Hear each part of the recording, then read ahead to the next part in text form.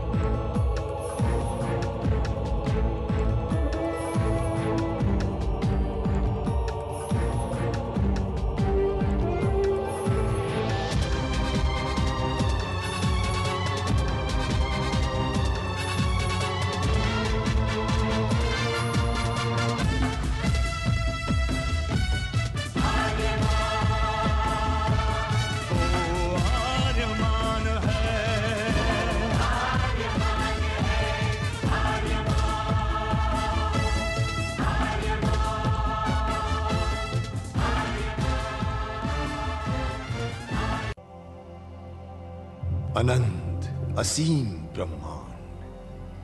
अद्भुत, विशाल, विराट। जहाँ असंख्य आकाश गंगाएँ प्रतिक्षण बनती रहती हैं, मिटती रहती हैं। हर आकाश गंगा में होते हैं अनगिनत तारे, अनेकों सूरज। और सूरज के साथ होता है अपना सौर मंडल, जिसमें रहते हैं अनेकों ग्रह। न जाने कितने सूरज चमके और बुझ गए। न जाने कितने तारे चमके और खो गए। न जाने कितने ग्रह, कितनी पृथ्वियाँ, कितनी सभ्यताएँ बनी, बढ़ी और खो गई। समय की इस अनंत धारा में। इन्हीं अनजानी परंतु अमर गाथाओं में से एक है। महागाथा, ब्रह्मांड के योद्धा। आर्यमान की। बहुत समय पहले, पृथ्वी से लाखों प्रकाश वर्ष दूर, आर्याना आकाश गंगा में एक ग्रह था थार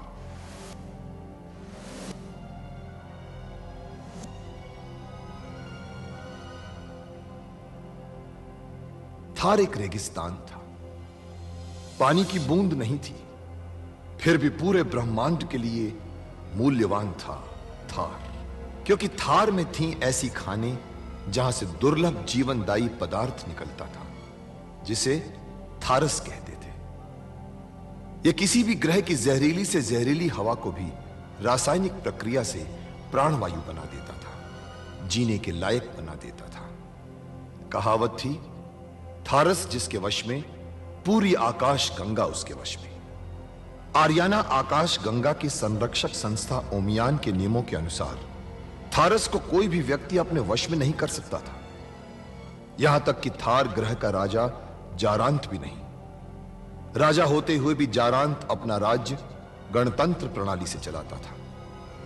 खानों से निकलने वाले थारस का 25 प्रतिशत भाग ही थार ग्रह के हिस्से में आता था। बाकी का हिस्सा ओसेक अंतरिक्ष संगठन में चला जाता था। ओसेक, आर्याना आकाश गंगा के व्यापारियों का संगठन था।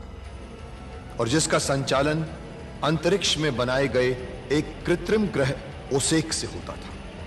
मगर ओसेक संगठन में कई व्यापारी ऐसे भी थे जो अति महत्वाकांक्षी थे, जो पूरे ब्रह्मांड में अपना आधिपत्य स्थापित करना चाहते थे। परंतु जब तक ओमियान था, तब तक कोई कुछ नहीं कर सकता था। ओमियान अंतरिक्ष के लोगों की संरक्षक संस्था थी, जो अंतरिक्ष के निवासियों के हितों का पूरा ध्यान रखती थी। और अपनी शांति सेना के द्वारा संपूर्ण ब्रह्मांड में शांति और व्यवस्था बनाए रखती थी। इसी ओमियान संस्था का अध्यक्ष था महान होशिंग। होशिंग जिस ग्रह पर रहता था, उस ग्रह का नाम था गुरुक्षेत्र, जहाँ आज छिड़ी हुई है एक महाजंग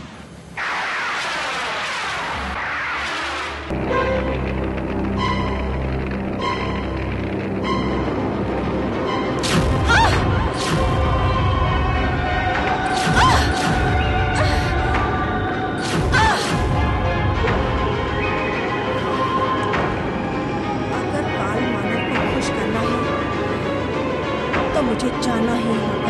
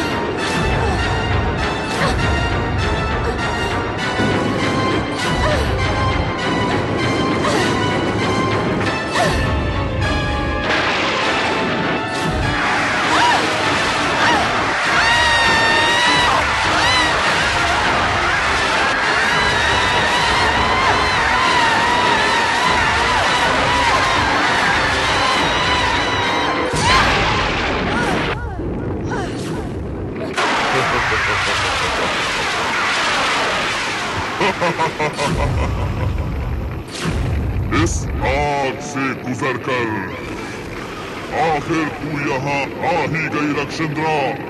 हाँ काल मानव। मुझे तो आना ही था। बता अपनी ख्वाहिश बता किस लिए आई है यहाँ?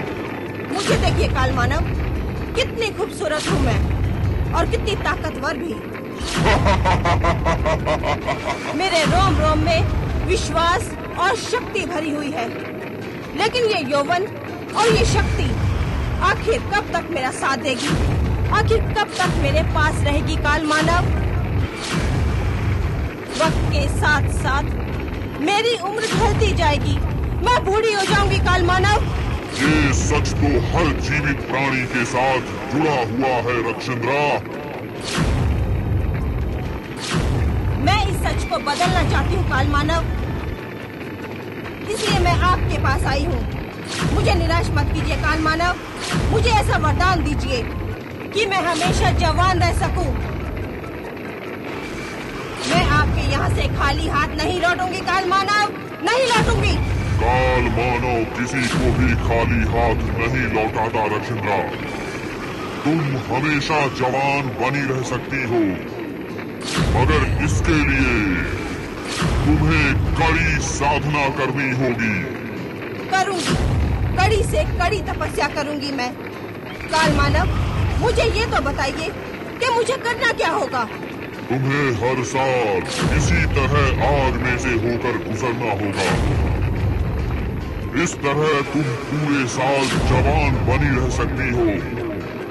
जिस साल भी तुम ऐसा नहीं करोगी उस साल से तुम्हारा बुढ़ापा शुरू हो जाएगा। मैं करूँगी काल मानव मैं करूँगी। हाँ। ये आग तुम अब से जहाँ चाहो पैदा कर सकती हो। लेकिन अभी आगे भी सुनो। आग में से गुजरने से पहले ज़रूरी है कि कोई शक्तिशाली पुरुष तुम्हारे पाओ का चुंबन करे। उसके बाद ही आग में गुजरने से जवानी मिल पाएगी तुम्हें और हाँ जब कोई ऐसा योद्धा तुम्हारा पाँव चूमेगा, जिस पर आग का कोई असर न होता हो तो फिर तुम हमेशा के लिए जवान बन जाओगी। फिर तुम्हें बार बार हर साल आग से गुजरने की ज़रूरत नहीं रहेगी। अब ये लो।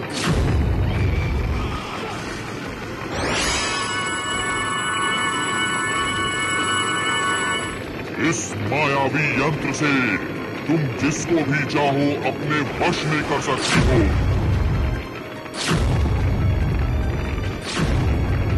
मगर ध्यान रखना तुम्हें वरदान हमेशा जवान बने रहने का मिला है।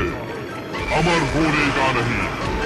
लेकिन जब मुझ पर ही नहीं आएगा तो मेरी मौत कैसे हो सकती है? हाँ? फिर भी हो सकती है तुम्हारी। कैसे? जो पुरुष इस मायावी यंत्र को तोड़ देगा और अगर उसके पास किसी साधक का दिया दिव्य अस्त्र हुआ तो वो मार सकता है तुम्हें। जाओ तुम। जाओ लक्षिंद्रा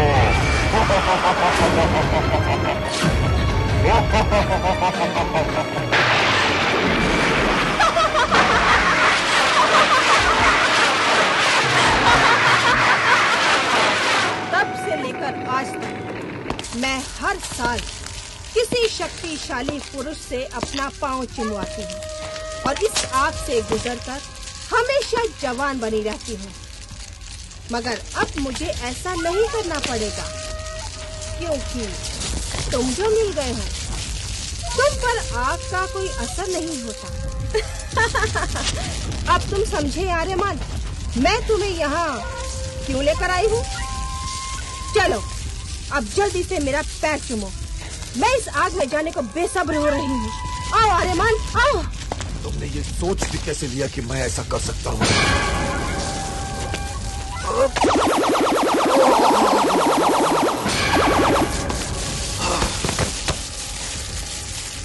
बेकार की कोशिश मत करो। मेरी साधना पूरी होने वाली है आर्यमान। तुम वही करोगे जो मैं चाहती हूँ और तुम्हें वो करना होगा। नहीं ये कभी नहीं करूँगा मैं। कभी नहीं। तुम्हें ये करना होगा आर्यमान। तुम्हें मेरे पैर चूमने होंगे। चूमो मेरे पैर चूमो आर्यमान। मैंने कहा ना कभी नहीं।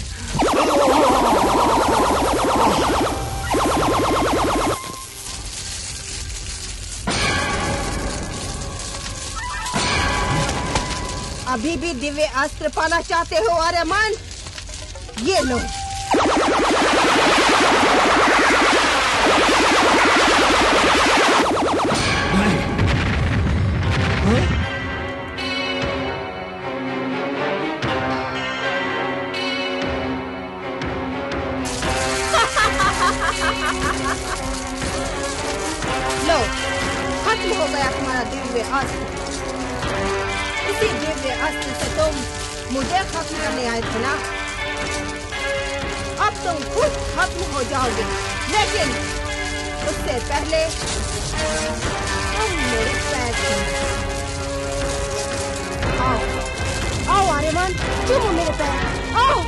चंद्रा तुम्हारा ये सपना कभी पूरा नहीं होगा।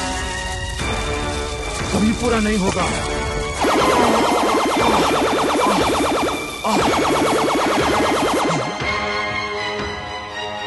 हाँ? ये ये क्या हुआ? ये कैसे हो सकता है? लक्ष्मीधरा ने दिव्य अस्त्र को नष्ट कर दिया। और दिव्य अस्त्र पहनने के बाद भी क्यों कमज़ोर पड़ गया रक्षण बड़ा किसान क्यों?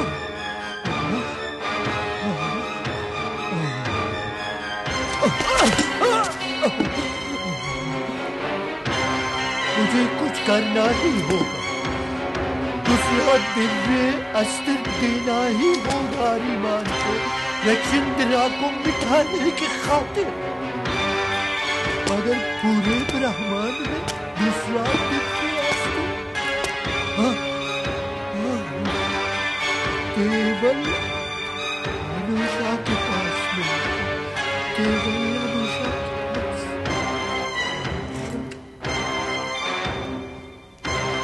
अनुषा तो क्या मुझे इस जीवन में दोबारा अनुषा से मिलना मैंने तो उससे न मिलने की कसम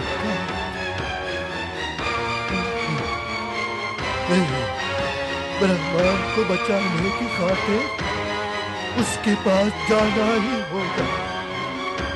मुझे अपनी कसम तोड़नी ही होगी और उससे दूसरा दिव्य अस्त्र लेकर देना ही होगा अनुभव को। नहीं तो ये दुष्ट नारी कभी नहीं मिल सकती कभी नहीं। मुझे जाना ही जाना ही होगा।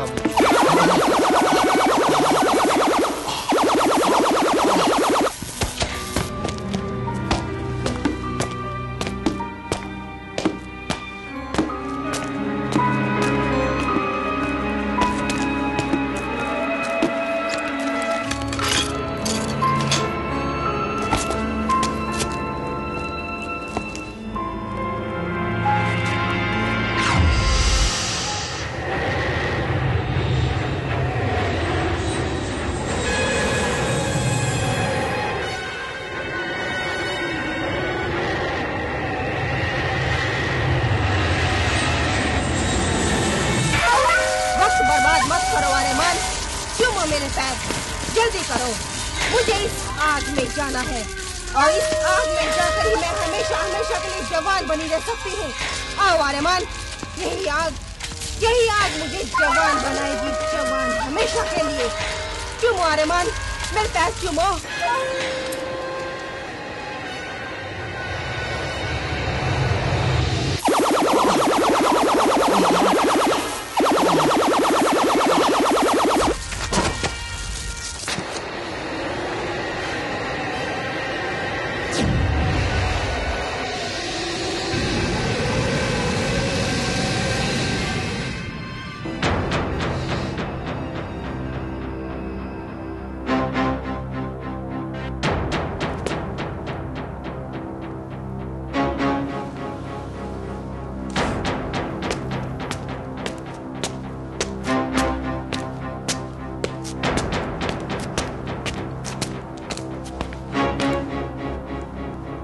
Anusha!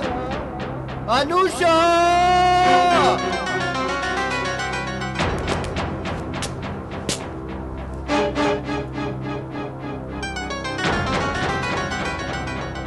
Anusha! Anusha!